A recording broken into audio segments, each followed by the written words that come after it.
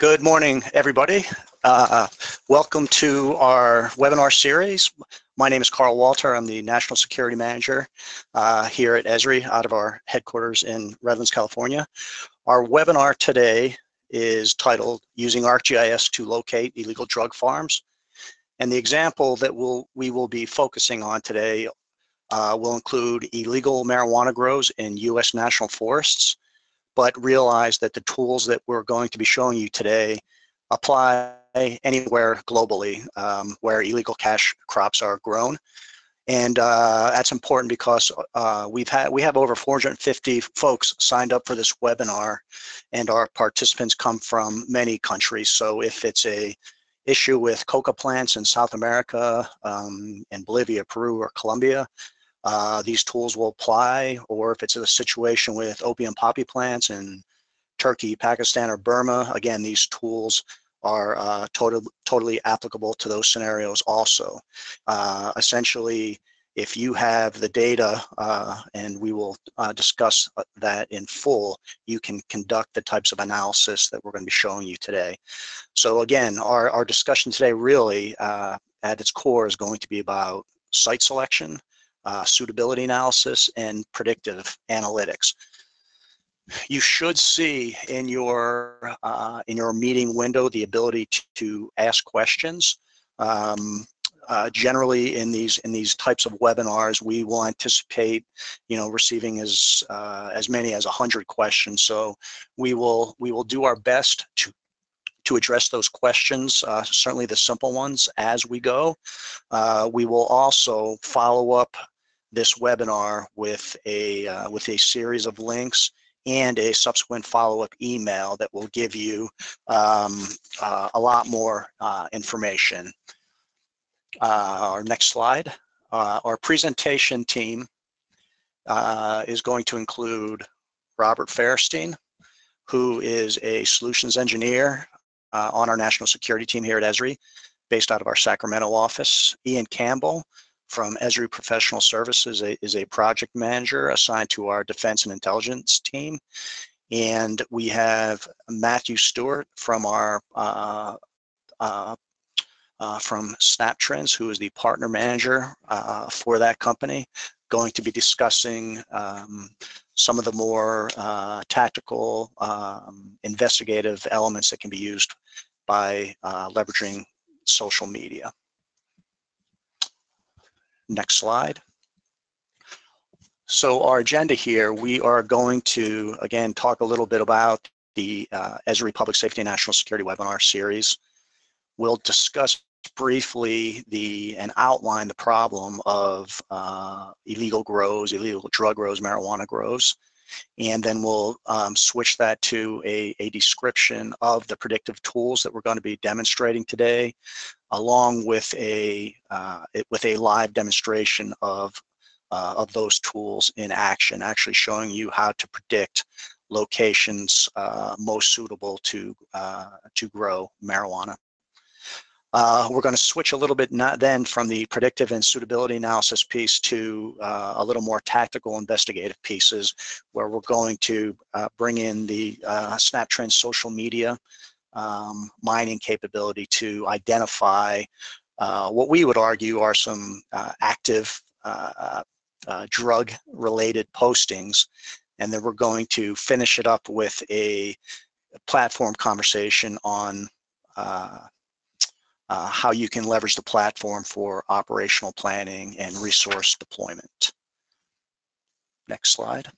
So our webinar series, this is a this is a national security uh, type of uh, presentation. Obviously, we do this for law enforcement, for CAD 911, as well as for emergency management, and uh, it is uh, it is our way to to keep us all connected. And, and again, like I said, we're going to um, uh, provide you with information information, follow-up information on how you can connect to these different series that we do, um, usually on a monthly basis at a minimum. And it's uh, it's it's our way to show and to share trends in uh, our mapping technology and geographic analysis, um, to display some some great information and intelligence products that hopefully can support you know different public safety or national security workflows And again, we want to show you, uh, you know, new and interesting and powerful capabilities. And we want to push uh, not just our ideas out to you, but uh, ideas of what we see uh, amongst our client base, both domestically and internationally. So uh, next slide. So a, a, brief discussion on on illegal grows and a, a short outline of the problem. So the uh, regardless of where you are, certainly in the 50 states, and then you know in some of the other um, uh, areas on the globe where uh, illegal cash crops are grown, you have uh, oftentimes uh, a host of agencies dealing with the uh, what we what, what's called the eradication process. So, so in the U.S., for example, you could have state police, National Guard, federal agencies like DEA and and other folks like our like our HIDTAs all involved in this eradication um, in, in, eradication strategies. And sometimes they do this together sometimes they do this independently uh, and uh, and sometimes the uh, communication is uh, is difficult and challenging for instance on where one team has searched historically and the ability to prevent somebody from um, uh, wasting time and money and resources doing the exact same thing.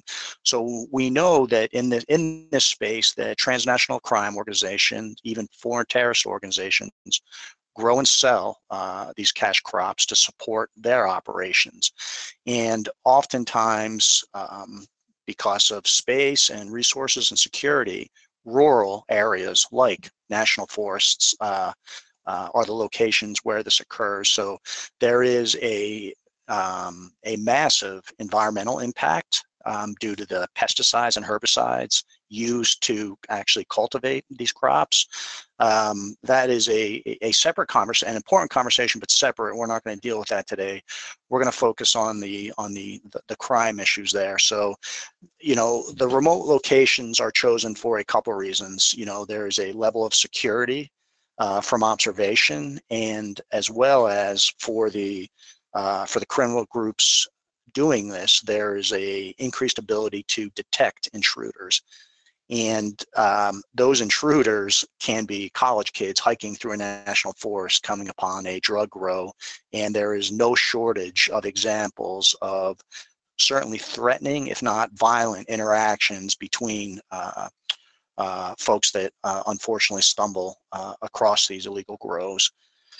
So we know that there are limited resources in law enforcement. We also know that it's incredibly expensive to use air assets and ground assets for interdiction. Uh, um, and the areas, the geography of where these grows can occur are massive.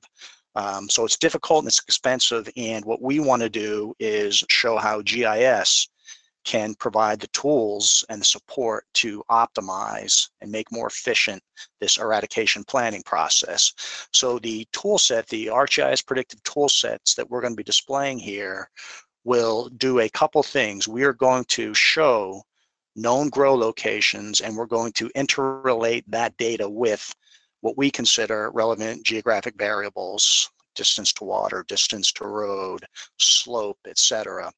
And uh, we're going to identify locations based on history, the previous grows, uh, where we would calculate and predict that uh, uh suitability sites for uh, additional grows to occur, and therefore a better way for us to direct not just air uh, patrol and surveillance, but um, but ground patrol and surveillance to again uh, be much more uh, specific uh, and tactical in how to spend time, money, and resources on the eradication process. So, uh, a couple things before we um, get too deep into this. The information that we're using is uh, is very real. We have made minor modifications to uh, to maintain the anonymity of some of the agencies that we work with for this uh, uh, for this type of analysis.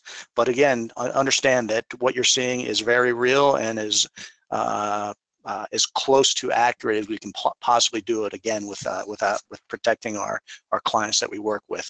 So we're going to go through uh, just a couple brief photos here to show uh, what we're talking about. So this is an indoor grow and uh, for this exercise, we don't really care about this. We're gonna move on to what we would uh, kind of classify as outdoor grows, as you see in the pictures right here. This is, this is where we're going to do the predictive analysis and analytics on. And the reason is, as you see in the next photo, is because of, you know, the violence associated with what happens in these scenarios when um, uh, when individuals, criminal organizations, foreign terrorist organizations uh, are responsible to protect this cash crop. So we are now going to move into uh, a, a, series of slides where Rob Feuerstein is going to kind of outline exactly what we're talking about here. Uh, and then we're going to go into the actual demonstration of, uh, of how these analytics work. So Rob, go ahead. Hey, thank you, Carl. So again, I'm Rob Feuerstein, a solution engineer with Esri.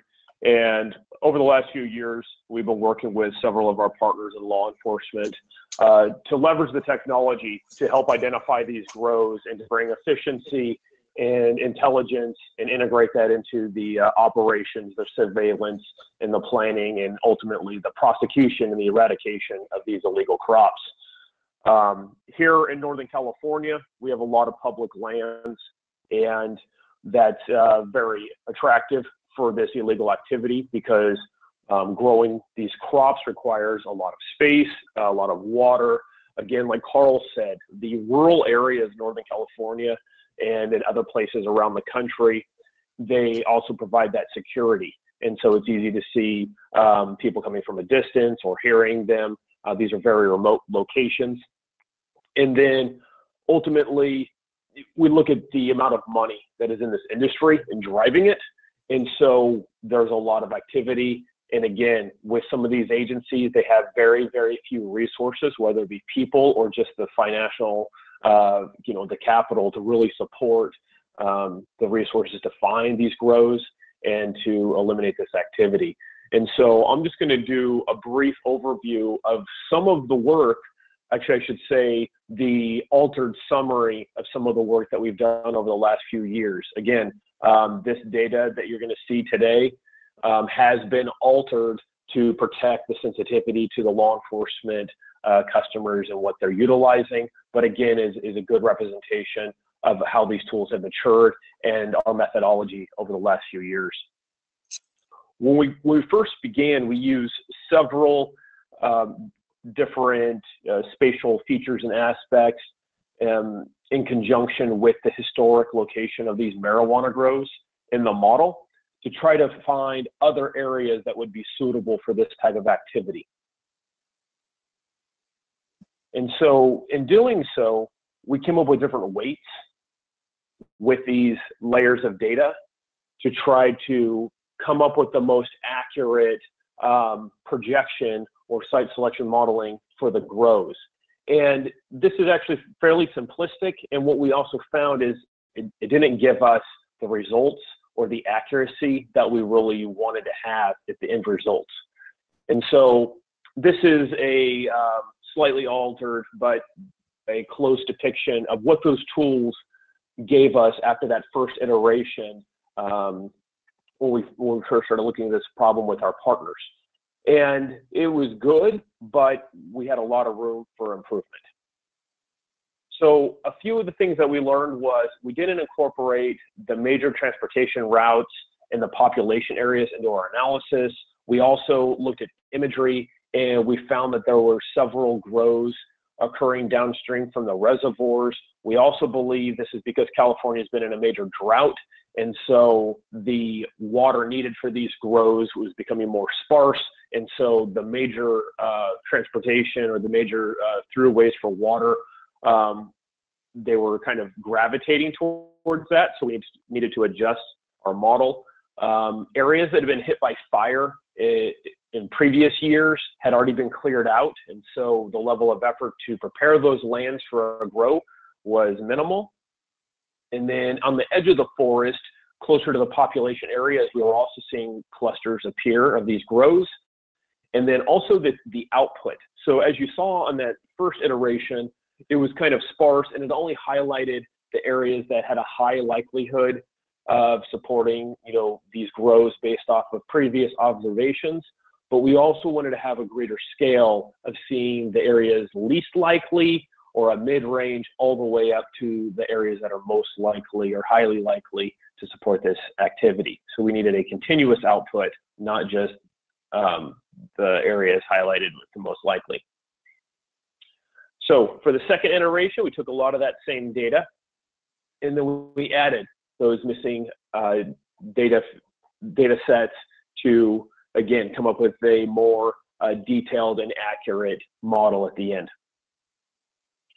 And so with that, you can see here we have several different weights, and we really went deep going through these, and we we segmented them out more, and we came up with a much more thorough weighting schema uh, to support the analysis and you'll see the results here in a second uh, of what we came up with.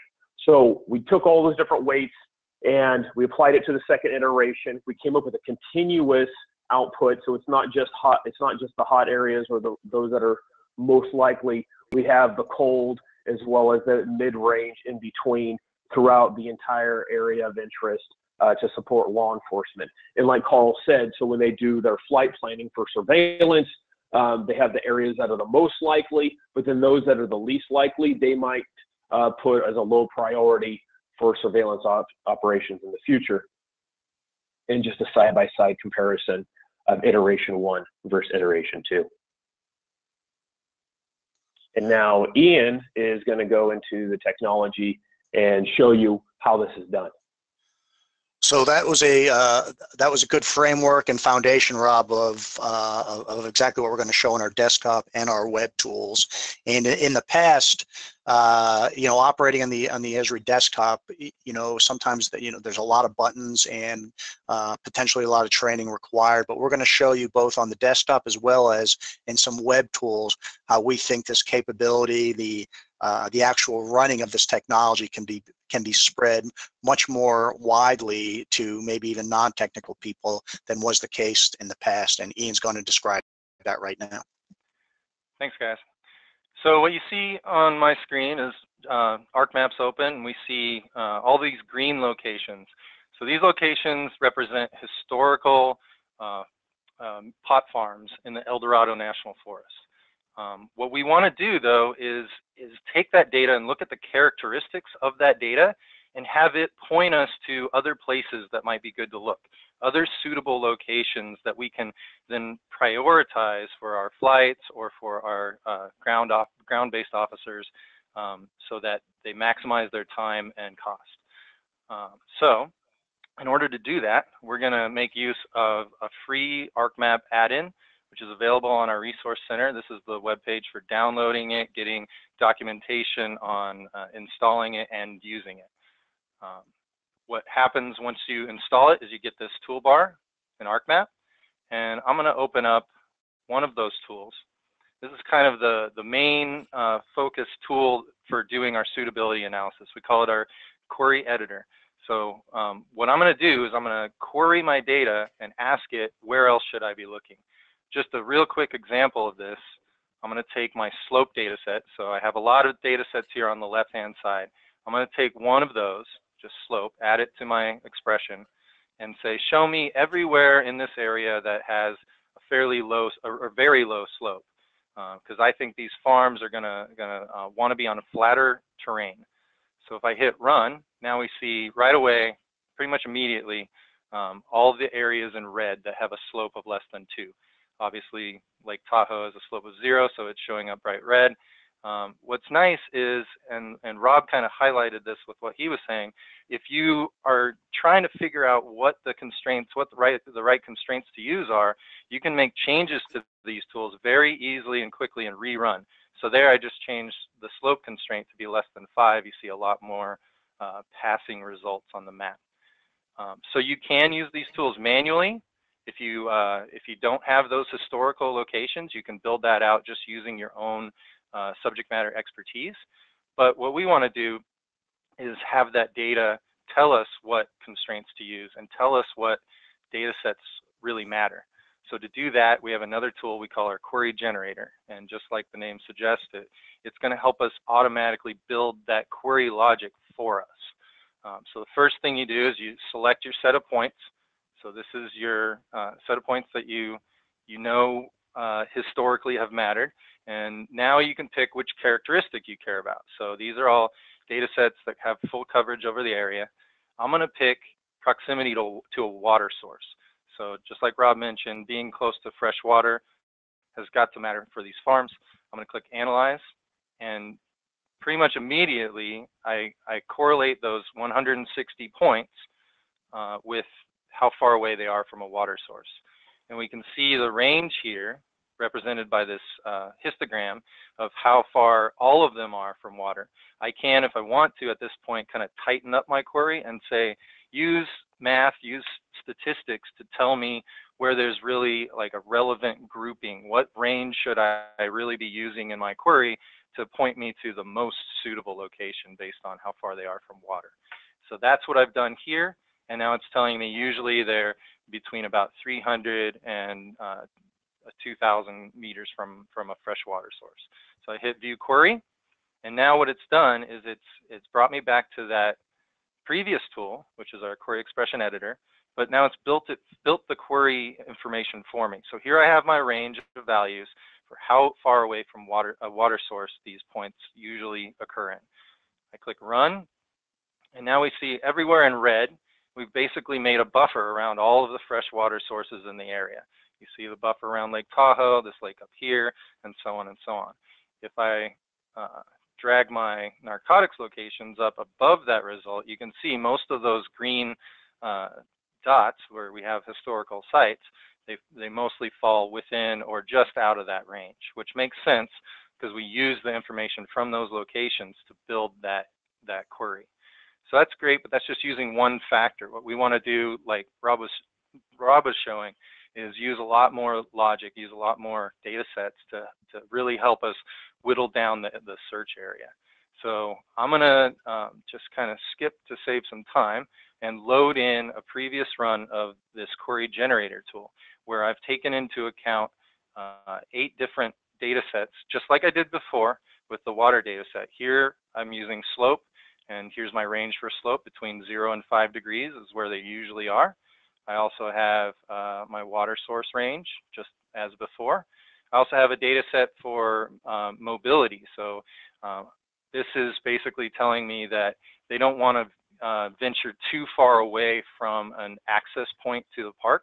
So they, they drive into the park, but they stay within half an hour to an hour from that entry point. Um, so that'll help whittle down areas that are just too remote. They don't want to be driving all day to get to that farm location. When I click View Query, it creates a much more complex query but like I said before, it, it's doing all of the math and all of these range, figuring out the ranges for us. So here's my slope range. And if we scroll down, you can see how much information went into this query. Uh, here's my uh, range of values for how far away I am from water. And if I want to, I can still add to this. I can say, um, avoid areas that don't have good cell phone coverage. Or uh, what I'm going to do is just add a, a, simple constraint saying, I just want to do my analysis over just the El Dorado area. And let me just turn on weights since this is a more complex query. And we want to do a contiguous um, result, like Rob was saying, where we get uh, more of a color ramp than a yes-no answer. So here what we're seeing is suitability for the whole of the, the national forest here, um, from green to red, red being the most suitable. So we see this whole area here is, is very suitable. We have some routes up here that actually probably are following along some roads because that was part of what makes them suitable and probably following along some, some stream areas as well. Um, if I bring back my uh, historic locations, you'll see a lot of those darker red areas are where we've seen them in the past. And that totally makes sense because we use those locations as our gold standard of where we want to look. But at this point, I, I have my first case of, of having some actionable evidence. So this area here, I would highlight I would tell whoever was flying the next uh, helicopter flight out there that I would prioritize this area. I'd also prioritize maybe this route up to the north and maybe this uh, this route over here as well. Um, what's what's uh, really useful is you can share this out. You can share this this result to wh whoever's uh, either on the ground or flying these routes. And as they fly the routes, they can share that information as well. That result so you can see. And as I fly that northern route, I can share that out. I can maybe on in February I fly this route over here, and in March I fly over here. If we turn back on the uh, the result, now I know I can if if I'm flying a route in April, the last three months here we have the different flights we took. We don't need to worry about those locations. Now I want to prioritize maybe this area down here in the south or this more orangish red area here and, and look for them in other areas. So that's great. We're helping out the guy in the air. Um, one other thing I want to show just real quickly is uh, we want to help uh, the law enforcement officers on the ground. So we have this area, this region here, where we had uh, a lot of red area where we hadn't actually caught them before. And what we want to do is use our route finder tool and say, show me the route that they would have to take to get to the nearest entry point to the park. So I'll turn that on. So moving to this entry point uh, represented by this red asterisk, if I select my mobility data set, which is my time of travel to that El Dorado access point, I can just dynamically click anywhere in this area and it'll find the least cost path back to that entry point to the park. It'll tell me how long it takes, um, up to an hour for some of these. And it will also just visually tell me where there's some good choke points. So there's a good choke point here. But another th interesting thing to note that is if I also wanted to stop this guy off to the left, um, I wouldn't be stopping him if I set up a roadblock here to, to, to look for these guys traveling on the roads. So I would need to set up maybe a, another choke point here or prioritize a, a primary choke point here. Um, so that's that's all I'm showing for the desktop. Let me just switch real quickly back to um, what we're working on currently, and that's porting some of these tools to a web-based solution. So usually when we do the desktop-based demo, everybody wants to see it on their iPad, um, see it on a mobile device, see it on a lightweight uh, laptop that they can take with them. Um, and that's what we've been working on is building some web-based widgets that can run on a thin client. So this is the web page for uh, getting access to that, getting the documentation, the install guide, and setting it up on your own system. Um, and here's an example of the web tools running live. So what uh, this is a, a, web app builder based web app. Um, three our three widgets that we have. I'm just going to run a quick query and what you can see here is that I've predefined a query, um, which is a really powerful thing because you can have your subject matter expert back at the office know what logic to use in their in their suitability. Let me just refresh this because I had the web page open too long. Sorry about that.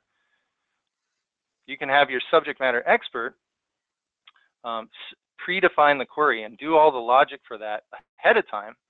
And you, you as the user just need to open up the web page and run the run the query. So here I'm, I'm saying over the entire continental US, uh, show me where slope is low, land cover is not water, and elevation is low. I'll hide that, and you see, just within a matter of seconds, we have everywhere in green where that where those constraints passed. Now this isn't a scenario-based thing, but it's it's powerful, and I wanted to show it because it's using three different data sets that each are are about 80 gigabytes on disk, and they can be coming from multiple server machines. They can be coming from our ArcGIS Online. Um, they can be coming from your own uh, server portal. Um, and we can merge those together and get the result just in a matter of seconds, which is really powerful to do on a thin client application. Um, with that, I'll, I'll hand it back to Carl. All right, thank you, Ian. So we, uh, what we just showed you here, uh, you know, a combination of uh, desktop tools and web tools that with, with the ability to uh, to process massive, massive geographic files very, very quickly, and then actually some um, uh, you know, the ease of use for, for, the user and the user experience with, you know, fewer and, and bigger buttons uh, to help with the prioritization. And when you're talking about technology to really to support operations, in this case, it's, I, I mean, it's really, really evident here where you can um, you can prioritize through these predictions and these suitability uh, analytics. You can prioritize where to search, where not to search, and really, really save time and money because with with budgets for gasoline and uh, uh, and flight crews and pilots, it's expensive. And if somebody, if an agency literally only has the ability to do, you know, uh, 10 flights uh, in a grow season, they want to pick the most optimal uh, routes uh, that will bring them the highest yield return for their for their time and their money. And I think we just showed how we can uh, uh, identify those locations, archive the historical information to prevent people from reflying the same routes and the ability to share that out uh, so other agencies know uh, should you want to share that information so other uh, agencies know where to go and know where not to go based on um, uh, based on the information sharing. So we're going to switch gears a little bit here and go you know, from the, the predictive suitability analysis to kind of a more uh, tactical view of what, what we like to call find a drug dealer. And we, uh, uh, we asked our partner SnapTrends to come in and show a different, uh, a couple different workflows on, on how this can be done. And, and the important thing here is you're going to see some, uh, you know, some, some high-end social media intelligence scraping um, that's going to occur in this application, but we're going to show you the um, the connectivity between SnapTrends and the ArcGIS platform, both desktop and and uh, and and online, where some of the uh, the high-end analytics can occur on uh, on the SnapTrends side, and the results can be shared through a feature service into the uh, onto the Esri side with a, uh, uh, again, uh, uh, essentially creating a dynamic link where updates occur on both sides uh, as new information comes in from the uh, social media world. So Matt, I'm going to turn this over to you and show us how to find a drug dealer. Perfect. Thank, thank you, Carl. Thanks for joining us, everyone, today. What you're seeing now is, is the SnapTrends interface just over the Sacramento area, so very close to the workflows that we've been doing in the Eldorado forest. But what I'm going to do now is kind of walk you through what Carl was mentioning and how we help our clients and what we can do to help in these specific workflows as well. And so what I'm going to do now, I'm going to just create a search parameter, uh, a geofence, uh, an umbrella, a search perimeter around the Sacramento area. And I'm going to just add in a couple of uh, keywords here, and I'm going to just add, add in lead to start you know, basically we're, we're trying to find a needle in a haystack here. We're trying to find somebody out there on social media that's openly, publicly posting, hey, you know, I've got weed or I, I, I want to sell weed or, you know, uh, just an example that we can find and try and get some intelligence from social media on very specific locations. And what we're doing here is looking at Twitter, we're looking at Instagram, you know, Facebook pages, YouTube, Google Plus, VK, and Flickr because a lot of people have multiple social media sites this this time of year, so or the, these days, and so we want to make sure we're capturing as much information from those sites as possible. So you see a lot of people talking about about weed here in the California Sacramento area, and I just found this this guy here. He's got you know a couple of blocks full of America's best weed. And so what I want to do, that just kind of is, is a red flag. You know, it could be nothing, it could be something. So what I want to do here is I want to go into his little Twitter profile summary. And so what we give you the ability to do is quickly understand, you know, a little bit more about who this person is. Okay, they're in the Pacific time. They've got 470 friends. They've got a lot of favorites. So this person is is at least okay on, you know, Twitter. So we're going to kind of dive in and keep going. So what I'm going to do now is click over to the media, pictures and videos. And so what you see here, you see our picture that we just found in, in the site there. And then we also have some other pictures that depict you know, some weed, maybe some other things. Looks like there's a little duck uh, bong there that you might want to investigate a little bit further. You can look at the pictures if you want to as well. Click through those quickly to, you know, kind of see who this person is, what they're taking pictures of. You know, more pictures of him or her smoking weed there, and a lot of pictures that have been deleted, which might be a, a red flag to this person because they're trying to get maybe incriminating information off of social media. In that case, if you wanted to, you know, start monitoring this person uh, ongoing because it, it might be a red flag, you can save them into the snap trend system for more analysis, you know, further down the line. Another good thing you can do is find locations of interest of that person. So where they have checked in, um, you know, where they have shared their location with you over the course of time. And for that post that I found, he shared his location here in the in the Sacramento area, so you get a good understanding of where that person has been. And so if I zoom out a little bit further, you can start to see if this person's got a pattern of life across the world, across the state, etc. So you can see this person travels between it looks like Fresno and Sacramento. So you get a good understanding of where he's been over time if you're interested in having a conversation, etc. You can also do some really cool things on social media by you know, seeing who this person is is you know in a relationship on social media with, and in Twitter's example, what that's going to be is you know the one-to-one connections. I'm following you, you're following me, or the one ways where they're following me or I'm following them. And so you can go through quickly and see the one-to-one connections of this individual. That means you know I'm following them, they're following me. It's probably friends in real life, and a lot of times friends in real life or friends on uh, social media as well, and vice versa. So you can quickly go through these and then automatically, if you wanted to investigate those individuals further, you can do that uh, as well. Another thing that you can do within the uh, SnapTrend system is, is save persons of interest, like I mentioned before. And that will give you uh, more ability to kind of analyze their social media footprint. SnapTrends gives you the ability to save multiple social media accounts from one individual into the same area so you can monitor, you know, multiple at one time. And you can see here I'm monitoring three different accounts of our one specific individual. We've got about 3,000 or 4,000 posts here. You know, there's a lot more data than we had previously by just finding that one post. And we do that by giving you the ability to use the auto search function. And what that does is that goes and looks at these social media accounts that we found for this individual and looks for other blogs, websites, social media sites, etc. Typically, we find that you know everybody today or a person that's uh, young and upcoming maybe even middle age has you know at least four or five different social media accounts, blogs, websites that they're attached to. So we give you ideas, leads, etc., that you can add to this person's of interest. So over time, when you're cleaning that information, you're starting to get a much bigger picture than what you had previously uh, on that social media site. And then what you can do with all this information, any information you have saved in SnapTrends. So if you wanted to save a specific search around your town, if you wanted to save a search around you know Eldorado National Forest and start pulling in information uh, from those specific areas, or maybe monitor those specific growth sites that that uh, uh, Esri was mentioning previously. We can set up those saved searches for you, and then we can also save that and send that information over to Esri with our uh, geo service link.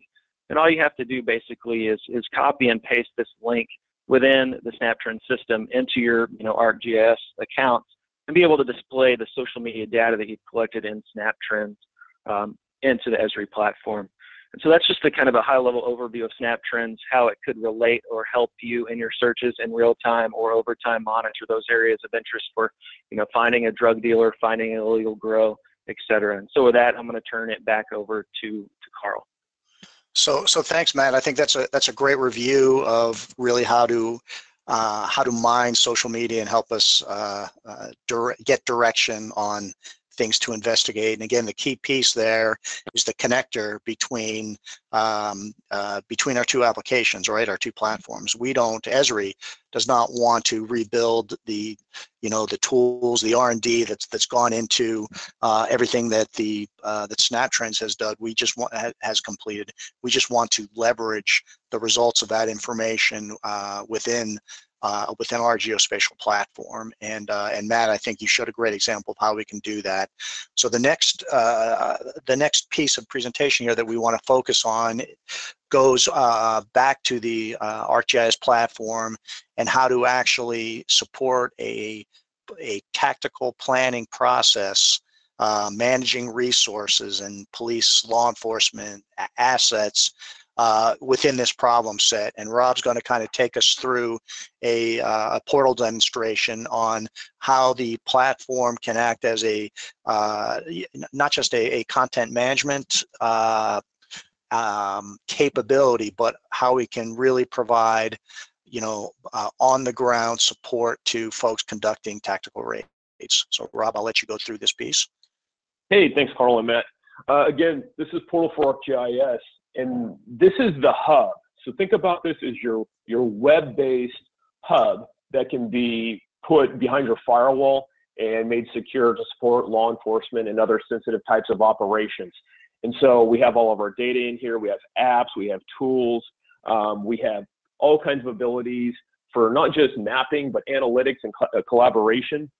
And it's and this technology is designed so it could be used by anyone at any time, anywhere. So any of your devices can leverage this technology. And so it's just a great collaboration tool. And so I'm going to show you just a couple applications.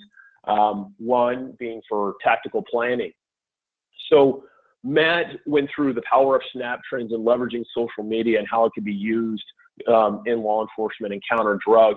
And so I'm going to take that information that Matt's made available via a web service, and I'm going to add it here into my web map and display it in support of my tactical planning. So let me go ahead and disable some time here. And you see these two posts right here uh, around the Sacramento region. And so let's go ahead and zoom into that, that northern activity there where we believe the transactions are taking place. So as I zoom in, we get some more detail on the map. We can hit the pop-up. Uh, we can get that information coming from Snap Trends um, on this individual and their social activity. Um, this map is great, but now that we're going down to the tactical level, I'm going to go ahead and uh, and switch it up to the imagery, get a little bit more detail. Um, this looks like a golf course parking lot. Maybe it's just the area where this person does their business. Maybe they work there. Who knows? But obviously, if you want to engage this individual, maybe bring them in for further questioning, maybe you have additional information related to a case. Um, who knows what that is? But obviously, this golf course is probably not going to be where you want to target them. And like Matt mentioned, through using social media and the Power Snap trends and doing that pattern of life, and you're in confirming maybe um, the location, uh, the home location of that individual using other intelligence sources or maybe other information you have that came up in the investigation. You can identify their home or their place of residence where they're at a regular on a regular basis. So what you're seeing pop up on the screen here, screen here is um, pre-populated um, tactical operation planning elements. So what we've done, you know, over the last couple years, working some of our great customers and partners in the tactical community, is we've tried to come up with some features that are commonly used across the country during a tactical plan. Time and time again, we would see our customer partners using, you know, paper or a whiteboard or all these different, you know, old school ways of coming up with a tactical plan but there's there's a big hole in that because once you write out that tactical plan in the briefing room or wherever it is on that piece of paper, it stops there. Um, you can't adjust it. You can't make changes on the fly. It doesn't come up on your mobile device or a laptop in your vehicle. Um, it can't be shared with several people simultaneously to interact with it to see, you know, what that plan is. Um, if something were to go wrong or it needs to be, that information needs to be leveraged at a later time, say for um, court, for litigation, for an after action review, or for training purposes, GIS, and in this case, Portal for ArcGIS, houses all that information as a common system of record to keep that information uh, for later use. So let me show you how easy it is to use this. Um, all you have to do is click on the piece that you want, and you can place it on the on the map. So whether it's the crisis negotiation team or maybe you want to go ahead and identify, you know, the primary entry point for the operation. You can put all this on the map. You can easily move different pieces around. So maybe team three needs to stand off a little bit. Whatever it may be, all of this um, through WebGIS can enable your tactical operations, combine your intelligence elements, your command elements, your tactical team, and your support elements all into one common operational environment. And the great thing about it is here I used an urban situation, but say in the case of the, you know, these rural marijuana grows, we can do the same thing, use these planning elements to go ahead and plan our, you know, drug grow seizure, um, our ingress routes, all of our different phase lines um, can be incorporated in here for the tactical plan. And obviously the objective, uh, we do hear time again that sometimes, you know, the wrong place is hit. This clearly identifies the objective so there's no confusion on what the target is. And again, can be shared and, and, and cover your, your region and your area of operations. Carl, do you want to take it from here for the next application? Yeah, so we're going to now move into um, uh, a, a, web application called Story Maps, and you know we've shown you some of the kind of the strategic analysis and the uh, and the suitability and predictive components, some of the tactical capabilities that um, that Matt on the social media side uh, showed in identifying potential drug activity, and Rob on how to plan for a, uh, a law enforcement response to to that drug activity. So uh, you know you think of those as analytical platforms. We're now going to go uh, within the same uh, ArcGIS platform into uh, what what I would kind of call a communication platform. So here we are able to embed the what the web maps that we've been using throughout this uh, uh, throughout this webinar directly into what what may look almost like a PowerPoint screen, um, but it's the but it but it's ArcGIS and it's the uh, it's the Story Maps web app. So here you can embed these web apps, uh, web maps, and actually provide you know photos or narrative like you have here on the right hand side and you see you know Rob's doing what we call a swipe map that's showing the the difference between the uh, the two iterations that um, that we walked you through earlier on. So again it's just a uh, it's a great example of how to uh, communicate for um, maybe a pre-raid or communicate for an after action report you know, here, this is just an example of, uh, of where you can actually download the predictive tools from. And, uh, and then here, again, you know, same thing, the, uh, the web version. Uh, we'll show this to you guys uh, through uh, subsequent emails.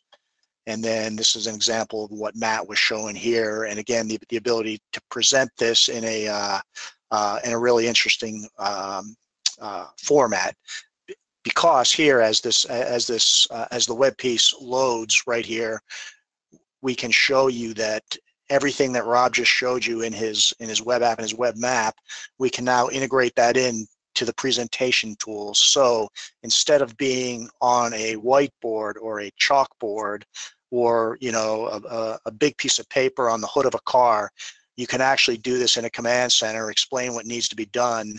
And, you know, we also, I, I think, talked around, you know, the ability to to deploy this in a, in a mobile fashion. So everything you're seeing here can go from command center to field to a, you know, to a desktop, to a iPad or, or smartphone, um, uh, allowing, you know, for the uh, for for the ultimate communication. So I think that's bringing us towards the end of um, uh, of the technical demonstration here. We we received quite a few questions. I um, just looking kind of at uh, what has been unanswered, and I'll uh, I'll go to. Uh, so again, everybody that asked a question that, that we didn't answer to you directly, will respond back to you in email but I'll just get some of the ones that we can uh, answer pretty quickly. And I'll, I'll, I'll, I'll throw this over to Rob, this question. So Rob, the, the tools that you displayed here, talk about the difference between development and configuration and the uh, uh, uh and the, the skill set that it takes to do some of the things that you did. That's a, that's a great question, Carl. Um, so as far as the development goes, luckily uh, Ian and his team have done a phenomenal job doing that.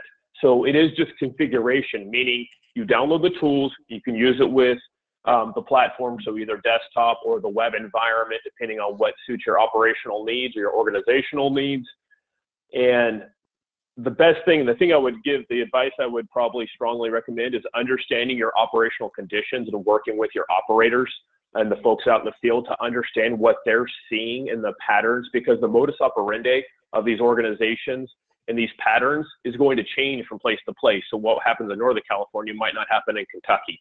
And so um, understanding those conditions and making those changes to the data like Ian showed you um, and adjusting those weights within the model to get the most accurate output that you can.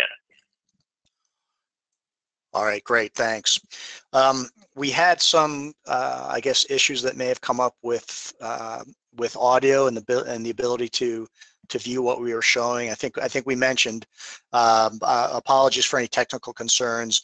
Everything that we just showed you uh, is going to be recorded and made available to you folks in in uh, in follow-up email. So if you have uh, as well as with our um, our addresses, our, our email addresses and whatnot. Rob, you can put those up on the screen now too, just so so people can grab them, even though we're going to uh, uh, we're going to be sending stuff out. Uh, so a question came in on the social media piece, and and I will uh, answer it the best I can. And Matt, maybe you can weigh in also that the that the example uh, that we showed with social media in an urban area, how can we use this in a in a rural area. So obviously, you know, if the, if there's no connectivity, um, you know, you're not able to post to social media. But in a you know in a scenario like here, you go down into your I would say your investigative phases. You uh, you identify people that uh, that you know are linked to these groups. And I, I, think Matt showed you some of the link analysis capabilities that allow you to spiral and spider out um, uh, to identify different individuals and different leads and their friends and their connections and whatnot. So in that scenario, you're right. If uh, if you don't have connectivity connectivity in a rural area, uh, the social media will have its limitations, and you just have to be creative and uh, and kind of uh, uh, you know you know find ever other levers to pull there. Uh, Matt, anything that you would add to that? Yeah, sure. Just just want a couple things there, Carl. Thanks for that question. Um, so on that sort of thing, I know a lot of people. Um, that is true, Carl. What you were mentioning, you know, a lot of people, if you don't have, you know, cell phone service, you can't post. A lot of people, even you know myself and a lot of friends that I know, a lot of times you'll go on trips and you'll you'll probably post some along the way, but you have a, a multitude of pictures or multitudes of things that you want to say that you just don't have time to say when you're on a vacation. So a lot of people will post you know, a lot of their pictures with those geo coordinates or registered location or some sort of geo tag uh, when they get home. And so that's another way that you can kind of, you know, look at that information as well. It might not be, you know, right at the exact time as they see it or take that picture, but they might upload that later on. So there's always that that that chance that you can catch some things as well that way. Great, thanks, Matt. So we had a question on the use of UAVs. So I, uh, great question, and um, you, you know, it may, it's probably one of those scenarios where technology is kind of outbased uh, policy and law, and it's a, it's a moving area. But I would uh, absolutely say that, you know, if UAVs are available within uh, within your agency, that uh, it's a lot cheaper to program where to fly one of those than it is to you know, to man, outfit, and uh, and gear up a flight crew in a helicopter. So I, I would envision that um, that there is a significant future there. Uh, Ian, a question came in on the um, uh, uh, the predictive analysis tools.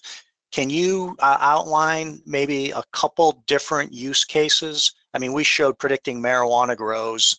Uh, can you identify a couple other use cases of where uh, this this these predictive tools can be used? Uh, sure, sure. Yeah, actually, it's pretty wide-reaching because, um, I mean, the the tools were made to be able to be flexible and answer a variety of problems. So we've worked with the um, Port of Long Beach and the and the Coast Guard, the U.S. Coast Guard, to um, help with the problem of uh, boats that are smuggling up the coast of California from Mexico, uh, either drugs or human trafficking. That's um, one one big example that we sometimes show. And what's interesting there is that that's a maritime-based demo as opposed to a terrain-based demo, which is what we've been focusing on in this uh, demonstration. So as long as you have the data to support the analysis, you can plug it into those tools. Another uh, example, um, one of our coworkers at Esri actually, before he worked at Esri, um, did uh, his uh, doctorate dissertation on uh, detecting where the most likely outbreaks for dengue fever in Africa would be. So similar ways of doing suitability analysis looking for farms, but factoring in different health-based uh, characteristics and saying, here's where outbreaks have occurred in the past. Where should we set up our new health centers to be most effective? Um, there's a lot of other examples uh, beyond that. Um, and, and you mentioned UAVs. We're actually have, have talked to a UAV company about um, possibly using these tools and incorporating in line of sight of the UAVs so that they get the, the most bang for their buck when they fly fly uh, and look over cropland. Um, and there's a bunch more, but Great. And Ian, uh, we may want to address some of this uh, through a subsequent email, but the question came up on on data. Do you want to just talk a little bit about um, uh, some of the data sets you used and uh, how uh, how difficult or how easy it was to acquire them? Sure, sure. Uh, so we do have some tools within the tool set itself for creating data. Um, I didn't I didn't go through those because those do take some time. So you can create proximity data sets and mobility data sets by factoring in, um, you know, I have a road data set. I want to calculate all through my area how far I am from road just based on distance. But maybe you also want to create a mobility data set. I'm in a Jeep. I can go this fast on roads, off roads, high slope, low slope, different types of terrain. Um, and you can factor that into another one of our tools called the Speed Model Builder. So that was all kind of behind the scenes. We just didn't show those, uh, but if you want, you can go online and it'll, it'll walk you through those tools. Um, kind of best practices for creating those those data sets is you want to keep them all in the same projection. You want to keep them all um, the same cell size. Um, we're working off of uh, what's called raster data sets as opposed to vector. So uh, they're made up of pixels, and each of the pixels is what you're seeing turn on and off in those results. So um, I can get a, a, more detailed best practice on that. Um, I think we've written that somewhere, so I can send Great. And then this is for probably Rob and for Ian, and I will uh, uh, I'll take a stab at it also.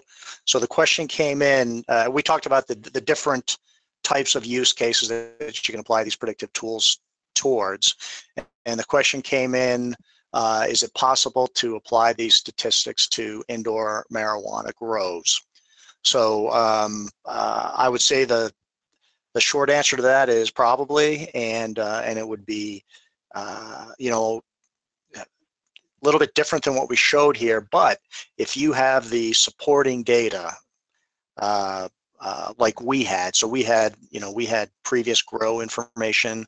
You know, if you're a law enforcement uh, agency, you have the, you know, you should have the um, uh, uh, previous previous raid activity or arrest activity for indoor grows, and we could apply the same principles very easily.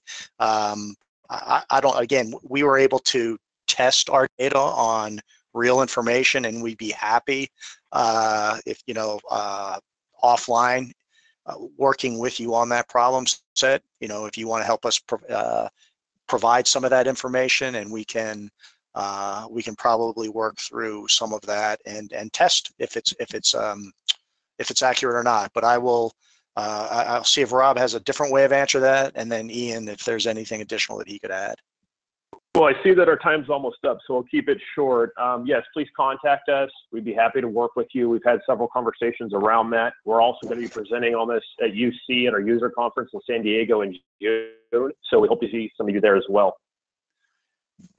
Perfect. And then, uh, and yes, I, I, did lose track of time. So we have uh, we have several questions that we did not get to. We will, uh, especially the last one is a little more complicated. We can probably handle that offline. And any further questions that you folks want to provide us, you, our emails are up on the screen here. Please reach out to us and we will be sending you, as discussed, uh, subsequent uh, information and follow-up opportunities through email for those of you that uh, that logged in today.